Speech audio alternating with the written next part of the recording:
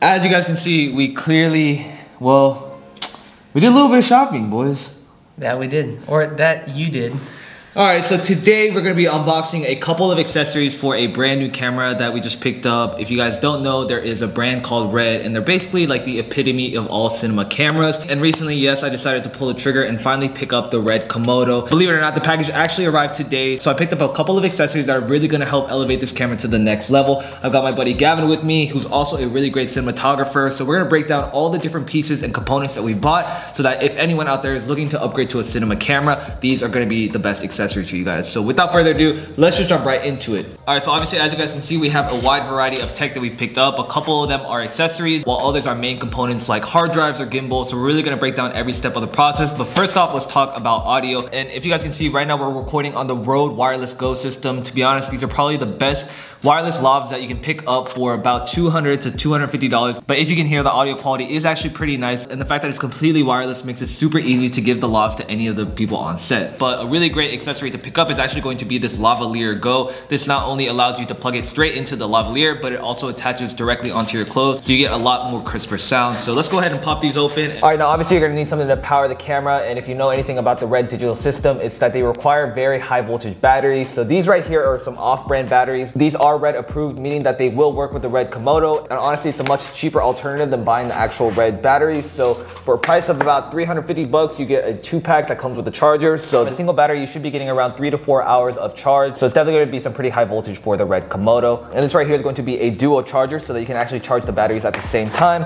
You wanna talk about the hot swapping features? So the reason we went with these Canon BP batteries was the fact that with the Komodo, instead of using a V-mount, you can use these batteries and be able to swap them during a shoot. So if one battery starts to die, just put this in the second slot on the camera. And then as soon as that first battery dies, the power to the camera instantly transfers so you don't have to repower the camera, reboot it up. So that's a super nice feature. And plus, if you're in the middle of a shoot, you don't have to worry about the camera just dying and losing that entire shot you just did. All right, so BP batteries are definitely gonna be a great thing to have. Should we move over to storage?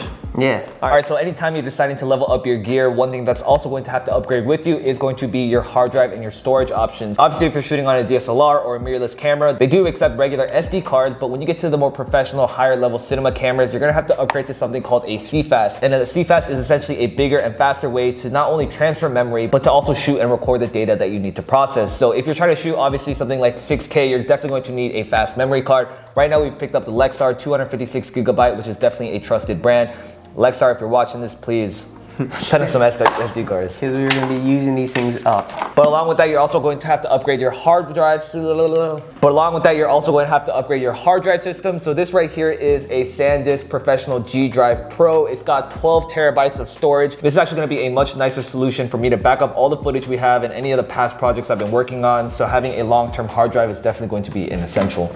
Let's save these two bad boys for the end, but we'll go ahead and move over to some focus systems. All right, so obviously since we're upgrading to a cinema camera, we're going to need something called cinema lenses, and they are pretty similar to any other lens you might own. However, for a majority of them, they aren't going to have autofocus. That means you're gonna have to get something like a focus puller system so that you're able to manually rack the focus or have someone operate it wirelessly looking at the director's monitor. So this right here is a Tilta nucleus nano, and honestly, this has definitely been one of the biggest game changers when it comes to cinematography because you're now able to wirelessly pull focus from anywhere you are and just attach the motor to the camera. So this is actually my very first time having one of these in my hands. I'm very excited about this. I think it's gonna be one of the best additions to our Red Komodo setup. But in addition to that, we also picked up this side handle. So let me open it up and tell you guys a little bit about it. Bro, I will say this is smooth.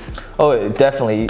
Especially when you're on sets or filming some sort of short films or documentaries, you wanna make sure that your focus pulling is smooth. Now, in addition to that, I've also got this Tilta side handle. And the cool thing about this side handle is that if I got it on the left side, it's actually got a ring right here where you can also use it to pull the focus. So if I have the motor attached to the camera, all I have to do is move my index finger and I can now zoom or focus. And that's honestly pretty insane that I'm able to have it built into this handle right here. Yeah, that's crazy. So we got a focus puller for someone off camera mm-hmm. and on camera. So that's just a great addition to have, especially with a camera that it has autofocus, but it's still not up to the standards that we're used to mm-hmm. and appreciate. But Having something like this just gives you a lot more flexibility, a lot more creative control, so someone else can be pulling focus and you can just worry about getting your composition right. So these two things are definitely going to be a huge game changer. Gab, should we do the honors? you want me to? All right. How do you open this? flip it, flip it. All right, so if you don't know, Red Cinema cameras are basically known for having modular components, meaning you have to buy a bunch of different accessories or specific parts that are built just for the Red system. So this one right here is a product from Red, but sheesh. Bro. Damn.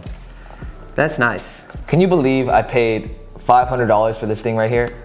Has simply one function, and that's to record your media. Well, Okay, and you have a pretty nice handle. But this right here is called the Red Outrigger handle. There were a lot of setup videos that I watched, and everyone seemed to really enjoy using this. It actually feels very ergonomic in the hands, and given the fact that the record button on the Komodo is not in a very convenient position, this just gives you much more precise control. And honestly, for the price tag, you're definitely getting what you pay for. It feels very sturdy, it feels very premium for sure. it looks like it's supposed to be heavy, but it's super lightweight. It's very lightweight, and I think it's gonna be one of the best additions to the Komodo. Amazing grip. I love it. But can't forget about this guy. He's been waiting around in the corner, so we gotta show him some love. All right, ladies and gentlemen, DJI has recently come out with their RS2. We decided to pick up the Pro combo, but let's go ahead and open this thing up. Dang, man. Sheesh, this thing is heavy. All right, so this right here is a DJI Pro RS2 combo. I'm actually very impressed with the size of this package because it's actually pretty compact. It's something that you can easily carry onto your planes or anything like that. And you have a fully functioning gimbal setup, but Yeah, it's already like half the size of the uh, first. that's it. That's it. All right, so basically the top folds down like this. You got a big compartment. You don't have to worry about fidgeting it in a tiny case that's not gonna fit. And then on the other side is actually where you get all the accessories. So you got your grips, you've got your power, and this is actually a really handy dandy little carrying pouch. You got places for all your accessories. And the tech that I'm most excited to test out with this combo is going to be their new Raven Eye technology. Basically, Raven Eye uses LiDAR sensors to determine how far your subject is from your camera and autofocus on any lens you're using. It's very similar to the focus pulling system we mentioned earlier. However, this completely uses LiDAR technology, so this is gonna be a huge game changer. I'm very excited to test this out with some manual lenses. Yeah, and this is gonna be great for uh, low light shots. I mean, it will be able to detect people, whatever you're shooting.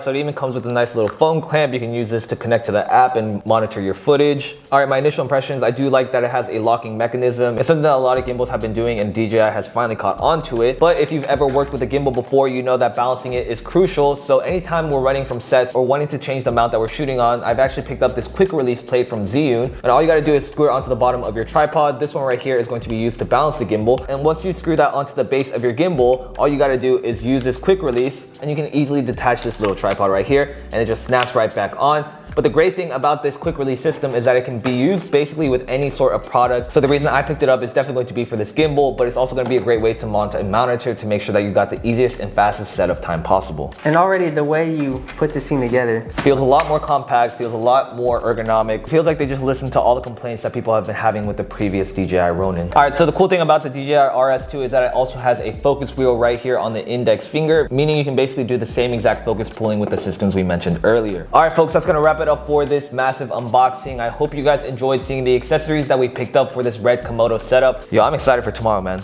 Yeah. Like this unboxing video is gonna be crazy. We're gonna go out into the city and shoot some test footage. So make sure to stick around, guys. I'm very excited for what's to happen with this camera. There's gonna be a lot of projects that we're gonna be working on. So this is really just the start of the journey. But if you enjoyed this video, don't forget to drop a like down below. Don't forget to check out Gavin on Instagram. And as always, folks, don't stress, finesse.